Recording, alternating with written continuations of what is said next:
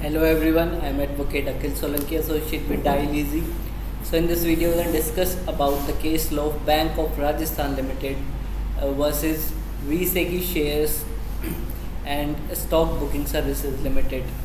So fact of the case are as follows as VCK shares and Stock Broking Services Limited took out a loan of rupees uh, 1.5 crore at an interest rate of 19.25% per year.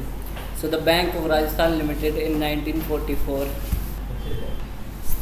secured by a mortgage on a borrower's immovable properties 1995 the two parties entered into a further agreement under which VCK shares received additional credit by pleading uh, by pledging shares and securities of various companies.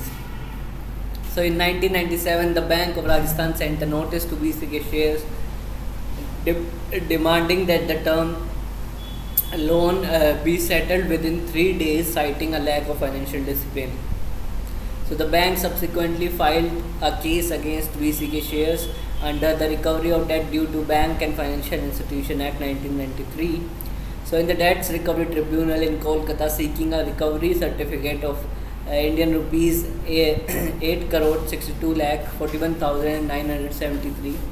VCK shares entered an appearance, uh, appearance to find and defend the case and also uh, filed a civil suit against the bank in the Calcutta High Court. So on 6 September 2022, a single judge uh, in the High Court ruled in favor of the bank and directed that the suit be taken off the High Court's file. However, on 27 September 2022, a division bench of the High Court uh, overturned the single judge's decision and held that the civil court had jurisdiction to hear the case. Thank you. See you next video with some more information.